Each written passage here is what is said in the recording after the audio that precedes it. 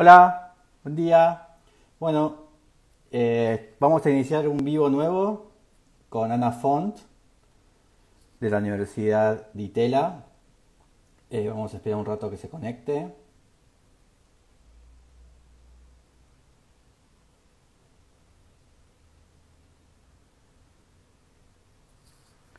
Hola, ¿qué tal? ¿Se, se oye bien? ¿Se escucha bien? Eh, vamos a invitar a Ana para que esté con nosotros.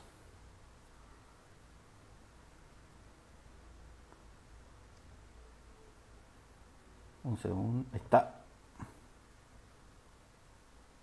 Buenas. Eh, bueno, hoy es sábado, ahí se conectó Ana. Eh, tuvimos un pequeño inconveniente y ahora lo vamos a volver a solucionar. Ahí vamos. Buenas. Hola, ahora sí te Hola. escucho vos. Sí. Sí, ahora sí. No sé qué Bueno, pasó. pas- pasó algo extraño, Sí, pero bueno, hay que continuar. Vamos a esperar que se conecte de vuelta un poco la gente, que se nos sí, fue. claro. Y bueno, estábamos hablando de eso, ¿no? De, de la diferencia de facultad y escuela. Sí, sí. Es verdad. Sí. Bueno, sí, no sé, me- me- la verdad que es cierto, no, no lo había pensado eh, antes esto, pero, pero sí, tiene que ver un poco con eso, ¿no? De, de la, de la ética que tiene, supongo, la- pensar en una escuela como, como un, sí, como un tipo de, de actitud respecto de la Sí, enseñanza también, me imagino, algo así. Eh, pero sí, no sé. Bueno, iniciemos con las 10 preguntas. Dale. Y la primera pregunta es, una esquina de tu ciudad. Ok, eh, o sea, cuando lo leí me vino un lugar muy poco canónico, pero que Sí, a lo mejor es un rincón que después acaba siendo interesante, que es- está en, detrás de Plaza San Jaume. En realidad hay como una placita que se llama Plaza San Just, que está, es una calle que se llama Carrer del Lledó y sí, de Hércules. Y es una, se, se juntan tres calles y hay un edificio que es como el edificio de esquina sí. eh, y tiene, es como más bajito que el resto del edificio que, que- que tiene atrás. Siempre, siempre me ¿Cómo se llama? gustó Aquí la busco, Plaza. Plaza de San Just, como si fuera de San Justo. Eh, es un, es muy, es un lugar muy, muy chiquito. En realidad, yo creo que se, se genera plaza porque se, se, se entrecruzan tres calles, ¿no? Pero no tiene como escala, una escala muy pequeña. Eh, y lo que pasa es que está justo eh, atrás, digamos, de, de todos los edificios más institucionales de Plaza San Jaume y muy de, muy de golpe estás en un lugar tranquilo, siendo que Sí, es el, el centro, ¿sabes? Y que la calle que sigue va como hacia el Bor, que es muy, está muy crowded y así, y esta parte es más, más chiquita. Y bueno, también hay como un restaurantito en una esquina al lado que, que es, que es un lugar al que vamos mucho. bien. Eh, y no sé, que lo estás googleando, lo buscas en el Maps. Sí, Tiras a la personita ahí. Eh, pues sí, eso, eso. Ahí está. Mira, claro, si te ¿Es, alejas, a ver. esta es? Claro, es la esquina como si, ¿ves ese edificio ahí de esquina que Sí, es más bajito? Como esa esquinita, ¿no? Con la esquina, con la otra de al lado. Es, ese rinconcito es, es muy entrañable. Eh, tiene una fuente aparte ¿eh? en esa fachada. Eh, y tiene como todas esas cosas que tiene Barcelona, ¿no? Sí, la, la- la fuente, la- el encuentro este de dos calles resuelto con un edificio. es la- distintos tipos de resolución de las fachadas que tiene alrededor. ahí está la fuente. Sí, esa es la ¿Y, fuente, exacto. y tiene algún mito esa fuente? ¿Hay que hacer algo cuando llegas a esa fuente? No, no que yo sepa, a lo mejor hay alguien que sabe alguna, Uy, alguna está en reparación justo, mira qué, mira qué lástima. justo ahí, sí, ¿no? Hace, hace, bueno, ahora hace meses que no paso por ahí, pero no sé qué están haciendo. Y La iglesia está pegada, eh, Sí, ahí al lado. Pero nada, qué sí, ¿no? lindo, ¿eh? Es, es como una plaza típica de, de catalana. sí, sí. Puede ser muy... ese. Ese es el café de la academia, esa puertita que está medio abrir. que Sí, ahora se- es un, es un lugar que se come re bien y es eh, todo como de piedra. está- entras ahí en agosto y está fresco adentro. Es mira qué bueno. mm, muy lindo. Sí, sí. Y esta calle, bueno, va si bajas a la izquierda va perpendicular a, a la que después se vuelve calle Princesa, o sea que es realmente muy céntrico. Eh, así que nada, sí, lugar para ir. Muy bien. ¿Un espacio para crear? Eh, yo diría, eh, supongo que es una reacción pandémica, el, ático, digamos, el último piso de, de mi casa, es que es como estar un poco en el gallinero, estar arriba, ver, tengo vistas un poco más, más largas y siento que es el mejor lugar para, para concentrarte y también para hacer cosas que distintas, como menos, menos habitual. Sí, y, y después pensaba, en realidad cualquier ático de casa tiene, tiene algo, ¿no? Como más de la escala más así, de estar recogido, de, de estar más individual o... Más bajo. Sí, más bajo, eh, algo así, ¿no? ¿Y, en qué parte de la ciudad estás? ¿En Sánchez, Vieja, Gótica? Bor... Yo ahora en realidad estoy en, en, una casa de mi familia y estoy al otro lado del río Llobregat. Estoy en un, en un pueblito donde mis abuelos ah. vivieron toda la vida y estoy eh, pasando estos ahora mismo eh, en, ese, en esta casa. Entonces no estoy en Barcelona centro, estoy, se llama San Boy, el pueblo en el que estoy, que nadie va a conocer. ¿Y, cómo es eh, estar en un pueblito, un pueblito catalán, después de tanto tiempo de, de mega ciudad? Eh, la verdad es que por un lado ya Barcelona, al lado de Buenos Aires, es un pueblito, porque Buenos Aires es una brutalidad. Eh, o sea, digo, Buenos Aires no te lo acabas nunca, es enorme. para salir de la ciudad estás, no sé, días. horas.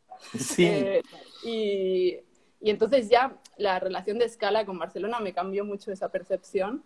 Eh, y después, al fin y al cabo, este, estoy, es área metropolitana, entonces no es no, no, no, no, tiene una densidad tan baja. O sea, digo, yo le llamo pueblo, pero no tiene una densidad tan baja como para, para em, ver una diferencia. Lo que sí es como estoy en el, en el casco antiguo, todas las calles son peatonales. Eh, o sea, la de mis abuelos era como, hay una tipología que eran como casas de campo que tenían alrededor todo vacío y después se fue construyendo, ¿no? Entonces sí tiene un poco todavía ese tono, pero la verdad es que a nivel vida hay muchas más cosas aquí going on que, que en otros lugares, ¿sabes? Porque es es muy a la metropolitana, ¿no? Claro. De hecho, bueno, estamos con el, con el coronavirus, esta zona era parte del encierro más fuerte que, hubo también, eh, por la densidad. Y ahora, eh, ahora, están más, ahora están abiertos. Sí, ahora estamos abiertos eh, con estas cuestiones como más de sentido común que mm, cuesta, cuesta que se sigan y con, con, más casos. Bueno, estamos más abiertos, pero la verdad es que hay muchos casos y, y nos están un poco como diciendo, eh, ojo con lo que, con esta libertad, ¿no?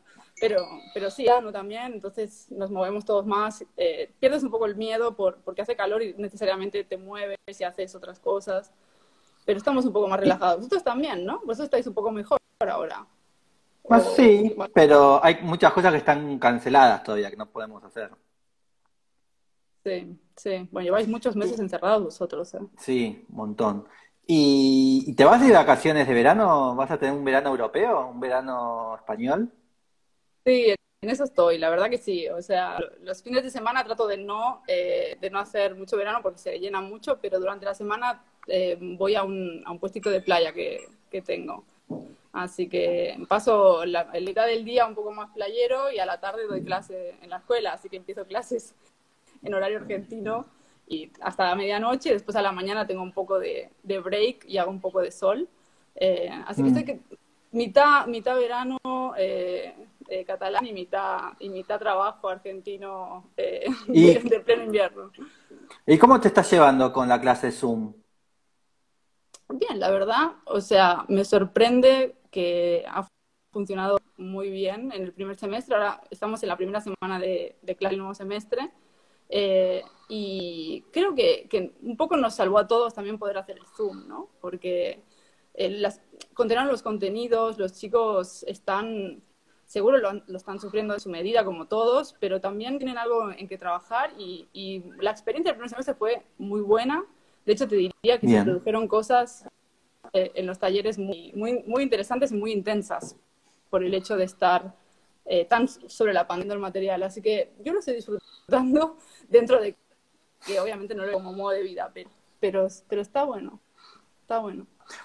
he, eh, eh, he, escuchado que de, muchos profesores que me han dicho esta cuestión de que el alumno está más concentrado, está menos disperso, porque bueno, no está en el aula con otros 40 o 30 o 20 más, y como que está solo mirando una pantalla, como que hay una concentración mayor. ¿Te, Sí, te sucede? puede ser. Yo, yo, yo lo, por ahí yo lo evalúo más como que tienen que sí o sí mostrarte algo presentando, ¿no? Porque no te pueden poner un papel enfrente con un dibujo hecho rápido, te tienen que mostrar. Entonces, la, la- la informalidad está totalmente cancelada y, y- y presentan dos veces por semana y eso creo que sube el nivel de la producción del pensamiento, o sea, tiene que generar el documento. Lo de que están más concentrados, ni idea, o sea, no, no lo sabría decir. También es más difícil trabajar en grupo, están muy, un poco alienados con la paz también. Así que eso debe tener un doble filo. Ahí entró Nico, Codoni, hola Nico. Y- estaban- repasó. Sí. La próxima es un horario para leer, un espacio de lectura y un libro. Ok. Eh, bueno, también reacción en lo, en lo inmediato, diría un horario para leer a las 7 de la tarde eh, en la, en la playa es el momento ideal para leer, como Y sí. así ya de bajar el sol. Eh, y un libro para leer, diré el libro que llevo leyendo un rato, un buen rato, porque estoy trabajando que, que bueno, que es Mil Mesetas, ¿no? De, de, de Deleuze, que es un libro que lo puedes leer Ah. varias veces, eh, de- de- en distintos órdenes, aparte, con distintos enfoques. Entonces es como una especie de meta libro, diría, eh, como para leer. Sí, sí. ¿Y, y, por, y por qué elegís a Deleuze? Eh, lo elijo en parte porque quiero leerlo, no, no, no por continuidad de las lecturas que se han hecho, sino para justamente producir un poco una nueva lectura. Eh, y eh, por un poco eso que te decía de que tiene una condición como meta, o sea, estás pensando en, algo y, y lo lees y, y, te, y te hace sentido. En otra cosa y lo lees y te hace sentido por, otro, por otra razón. O sea, siento que no tiene como que abre y aparte te lleva a otros lugares, ¿no? O sea, te lleva a otras relaciones, como que te hace como branching, eh, eh, te genera como caminos de, que, que son muy, muy prolíficos siempre. Entonces, me, me resulta muy generoso, como una, una especie de pensamiento muy abierto y muy generoso y, y al mismo tiempo muy, muy sharp, como, eh, muy como energético, como que me, me da Mm. energía y al mismo tiempo no es ideológico, ¿no? Entonces, eh, no sé, me, me, me hace pensar, que me genera cosas nuevas cada vez. Eh, supongo que por eso lo aprecio en especial, sí. Bien. Cuando googleás mil, mes- eh, mil mesetas, Sí. me aparece de costado capitalismo y, y ay, esquizofrenia. Subtítulo, sí. Sí. ¿Por qué? ¿Qué, qué- qué título raro, ¿no? Bueno, eh, eh, claro, tiene, bueno, es que son muchos, son textos distintos, ¿eh? Sería difícil, supongo, subtitular, em, pero, pero claro, tiene mucha preocupación con el aparato de Estado, eh, ¿no? Y no sé, en nomadología, por ejemplo, que es uno de los textos que está dentro, habla todo el tiempo de lo que es eh, lo estático, dinámico, lo variable, ¿no? Y desestabilizar estructuras, entonces entonces creo que la lógica esa tiene que ver un poco con, con este socialismo como estructura fija y la esquizofrenia como desestabilidad igual, ¿eh? Es una, puede tener algo que ver Sí. eh, con eso. O, o- o- Así o es. esa cuestión de vivir con miles de uno, vivir con muchos unos adentro de uno, ¿no? También, claro, claro, exacto. Con una especie de Fernando Sí, Peña, sí. no sé si, si lo conociste a Fernando Peña. No, No lo conozco. es un conductor de radio que tenía 20 pers- era un conductor de radio de acá de Buenos Aires que tenía Ujú. 45 personajes y, y hablaba todos eh, a la vez con él mismo. Era muy bueno. Muy Y, bueno, ¿no? Sí, y entonces, y había veces que vos no sabías eh, quién era quién, porque Claro. además tenía programas diferentes con personajes diferentes. Y sí, Qué muy capo. ¿no? Sí. No lo llegué a agarrar, no. Una escena de película. Unas, eh, me, me vienen varias escenas, pero casi todas como de los Cohen, ¿no? Como me, me gusta bastante Ah. ver sus películas. Eh, de golpe la, la que se me viene así, igual no, no sé si es que es, no, no es jerárquica, ¿eh? pero porque me viene ese momento de, mm, de, de ¿cómo se llama? Eh, no Country for Old Men, que está Javier Bardem, Sí, de asesino. eh, y que hay un momento que llega como una gasolinera y hace lo del flip the coin, ¿no? ¿Sabes? Eso como que Sí. tira la monedita cada vez. eh, eh, esa, esa escena como muy de la América, esta desértica y después del, del azar este, de la vida o la muerte muy... Y Bardem eh, espectacular, ¿no? En su rol así de, de asesino. eh. Sí. No sé, esa- me viene esa escena que tiene, aparte, raramente tiene como un humor. eh, y eso es lo que tienen los Cohen, ¿no? Como que es muy tremendo, si lo describo así, pero al mismo tiempo tiene un humor. Eh, Sí. así que no sé, diría esa. Y, y- Creo que es una peli- la- creo que es la película más graciosa que tienen. Sí, sí, sí, claro, sí. Sí. Eh, creo que en castellano se llama eh, tierra, eh, no, no hay tierra, no hay lugar para los débiles, creo que es la traducción. Ah, puede ser. Puede ser. Viste, es que, no sé si a ustedes les sucede, pero viste que las traducciones españolas a las latinoamericanas difieren mucho. Ahí vamos.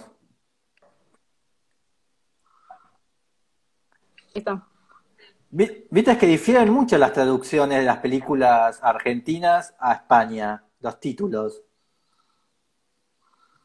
Son muy graciosas las diferencias. Por ejemplo, el show ahora- se llama el Bromas. Escuché. Ah, ahí, ahí se está grabando. ¿Me oyes ahí? Ahí, ahí va. Sin lugar para los débiles se llama, ahí está. Sí, te escucho. Ok, sí, sí, las traducciones son tremendas. Sí, sí. No, no, son malísimas, perdón, pero Sí, Creo creo que- que eh, hay, creo que la, la- la peor traducción es eh, de Joker, que, que en España se llama el Bromas. Ay, no. bueno, en España, sí, no sé, en Argentina lo tradujeron ¿en serio se llama el bromas? No. Eh, en Argentina se llama el Joker, ¿cómo se llama? El Guasón, El guasón, eso. claro. Y ustedes se llama el Bromas, Sí, eso es distinto. Eso no está tan mal. pero bueno, sí. Eh, la próxima pregunta es eh, una ciudad de verano.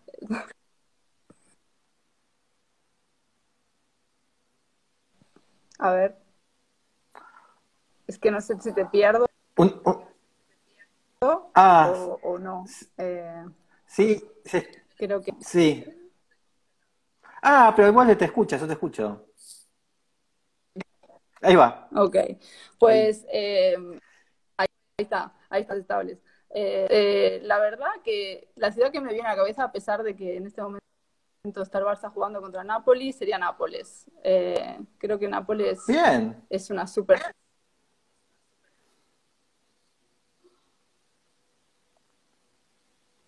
Es una gran ciudad, Nápoles. ¿Y por qué la elegís? preciosa.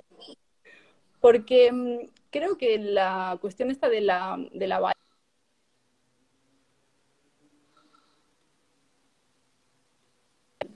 el ¿De la bahía?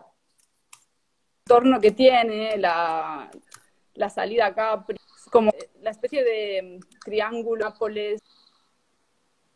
eh,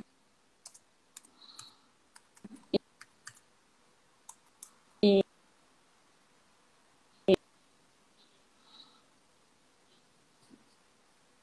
mm, y Nápoles además tiene esa cosa que es ordenada y, y caótica, eh, como estar en un lugar que tiene vida. Mm. Ahí, ahí, ahí, ahí, ahí- ahí la tenemos. Estamos, ahí está. Ahí está. ¿Y qué te parece? ¿Estuviste en la terminal de, de, de Zaha Hadid?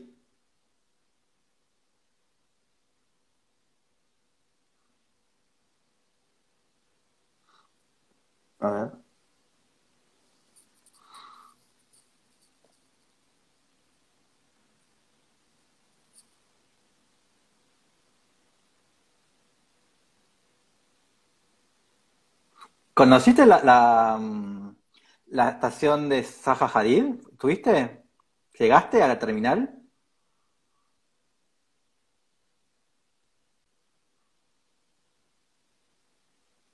¿No?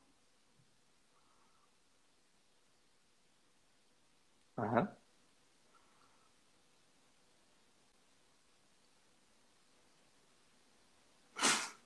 ¿No, te escuch ¿No me escuchás?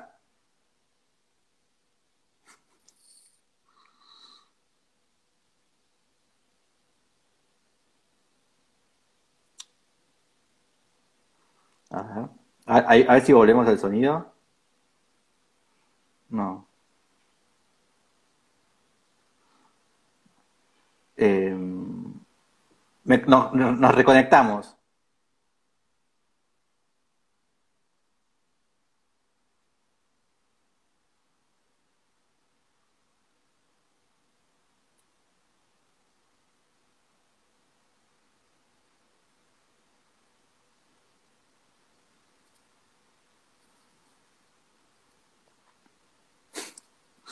A- Ahora volvemos.